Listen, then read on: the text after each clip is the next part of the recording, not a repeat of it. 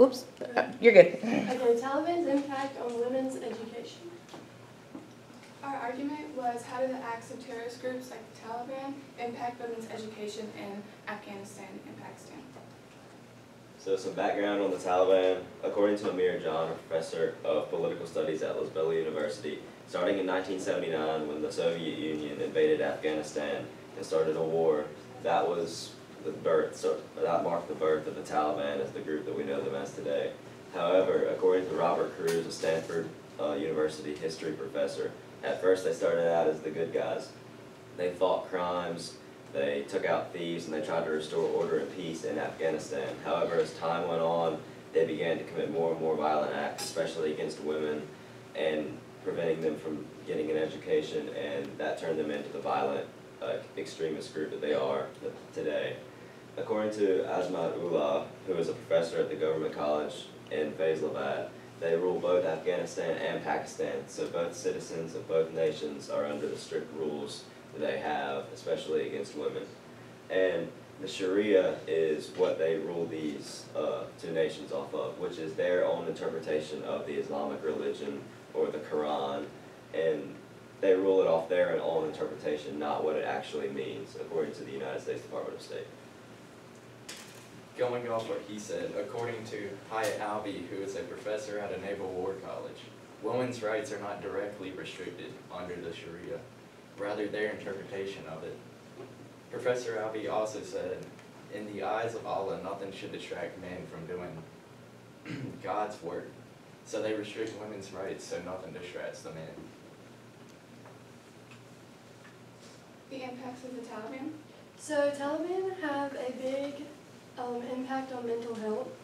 According to Gauderson Sullivan, who studies with the World Psychiatric Association, mental health is the well-being of someone. When you have a big force like the Taliban um, around you, it really leaves the citizens questioning, questioning when they go home, is their house still going to be there? Are their family members still going to be alive? And really, if they are too, um, this can cause a lot of stress, uh, depression, anxiety. Um, are detrimental to this because the students don't have any more like safe space and nowhere to go. According to Alan John, who studies psychology and came to the conclusion stress comes from the individual trying to cope. Um, basically, this means that they put they try to fix a negative with a negative. So that leads to drug abuse, substance abuse, suicide, things of that.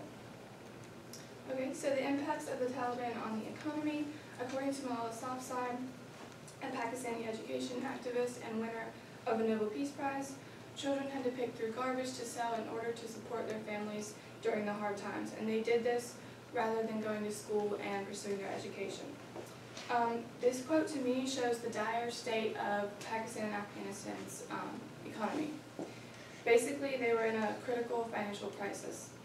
As found by Ula Azmat, who is the head of the International Federation of Red Cross and Crescent Societies in Nepal, the Taliban was depleting the countries of everything they had in order to grow stronger and more powerful. The root of the financial problem started with education, but um, also extends to their attacks on religion and the Pakistan government.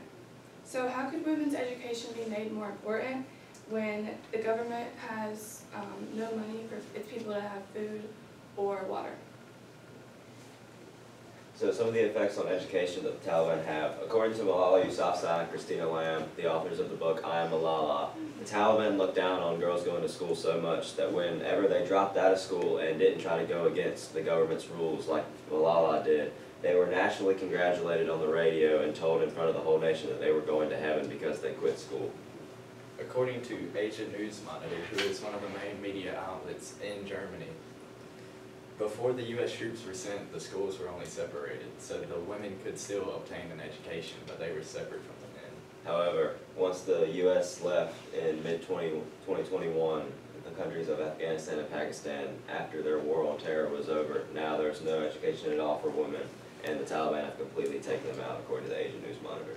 Because of this, 90,000 women are without education between Afghanistan and Pakistan, according to Asia News Monitor. So our first solution that we are proposing is a law for everyone that guarantees education for everyone, no matter their gender. Um, it would be applicable to everyone ages five through sixteen, and we chose that age range because, um, you can, you know, legally drop out of high school when you turn sixteen. Um, discrimination as a result of the law against women in any way will result in jail time. So some benefits to our solution is that, of course, a good education um, means that you can get, you know, better jobs, specifically the higher paying jobs that would help to repair the economy. And another plus is that with having the jobs, people obviously are not going to be um, subjected to living a life in poverty, and they're not going to um, have to worry about their survival so much and where their next meal is going to come from. Um, education, if we improve education, this will really have, um, well, it will help students have a clearer understanding and become less vulnerable. And mental health will improve, so that will basically benefit society overall.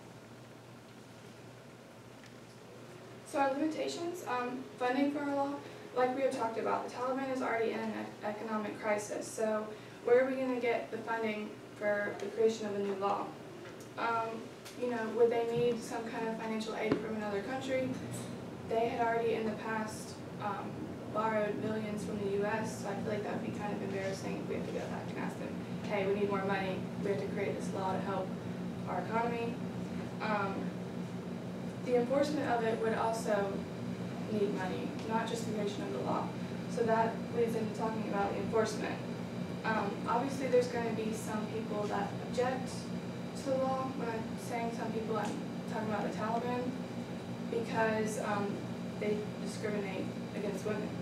So there's different ways to enforce the law, like sending troops or, um, you know, just having uh, extra law enforcement. But of course, they're all going to require funding, and they don't really, those countries don't really have that at the moment. Um, Taliban retaliation, according to Bahu Kamaljeet, who's a professor of psychology at Oxford University. If the Taliban are in control, they try to make everybody's lives bad, like really bad. Um, they target children, well, students specifically that are less educated because they're more vulnerable in that situation. Um, those with bad mental health will do anything to gain education, and that leads into Taliban ruling. So basically, if Taliban continue to rule over everyone, the mental health doesn't change. Everyone is still in a bad mental health state. The depression and fear are still there. And really, that just allows everyone to still not be able to recognize their abilities because of the Taliban are.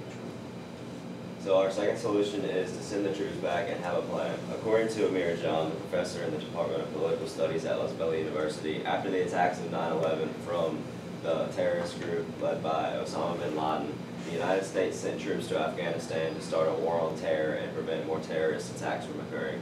However, there was a big problem, and that problem, according to Bulent Gokay, a professor of international relations at Keele University, was that there was no plan for the United States, and the troops were on different pages, and really were not in sync with what they were doing over there. And Gokay says that the United States troops did more harm than good while they were over there, and they might as well not have gone over there at all, because right when they left, the nation fell right back to the Taliban's ruling. So some pros of sending the troops back would be there's no more Taliban and no more restrictions if they have a plan and fully um, restore peace and order in those nations. And with this, people can live more freely and have better lives, especially women getting education and having better quality lives than they live right now, which is completely cut off from society and other people. The implications, limitations, and cons of this is there could be resistance from the Taliban, causing another war, or maybe even other countries joining in and helping out and causing a World War III. If this happens, then it could be like normal, where women are without education. Or it could be a disaster like last time, and we not have a plan, and it just goes all wrong. And the last one is, what do we do when we leave? Who's gonna be there to protect women's rights after we leave?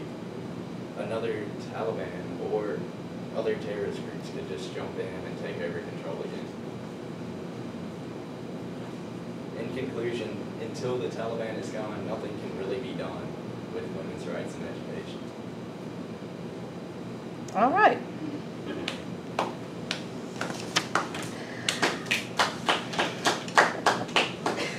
All right, Jake. give one specific way that your thinking changed as a result of learning about Sydney's findings. Um, our thinking changed as a result of learning about Sydney's, Sydney's findings because her lens was on mental health or on the economy and the Taliban's impact on that. And it really showed that while most people view the Taliban as just a war and destruction group, they destroy a whole lot more things than just lives and buildings and whole areas. They also destroy the economy because the, Ta- the Taliban rule over Afghanistan and Pakistan, and those two countries' economies have absolutely tanked with them charge of the country. So it shows how much of an impact the Taliban has on all aspects of life, not just wars and destructions and killing people. All right. Lucas, reflecting on your colleagues' work, which one had the greatest impact on your overall understanding of the problem that your group identified? Um, Jake had the biggest impact because it goes into the details about how, why they rule, how they rule. Like, he went into details about their interpretation of the Sharia, which is their Islamic law that they rule by. And it just really showed why they do what they do and what their reasoning is for why they do it. All right. Sydney, uh, what is an example of a compelling argument from one of your peers' individual reports that you decided to exclude from the team presentation and why? Um, an example of a compelling report from uh, Riley's paper, I would say that we decided exclude, would be um, the fact that the effects of the Taliban really cause um, a big mental toll on people. They really make them um, lonely, and then because it's like, especially for women, they're isolated from the rest of society. They feel like because they're not able to go to school and attend places without covering themselves. And so, you know, that results in loneliness, and then loneliness can lead to substance abuse and depression and suicide rates. But we decided to leave that out and focus more on the violence and um, the impacts of the Taliban, um, the impacts on the economy, the government, and um, yeah. Okay. Uh, Riley, describe an argument from one of your peers' reports that made you think differently about your team's solution or conclusion.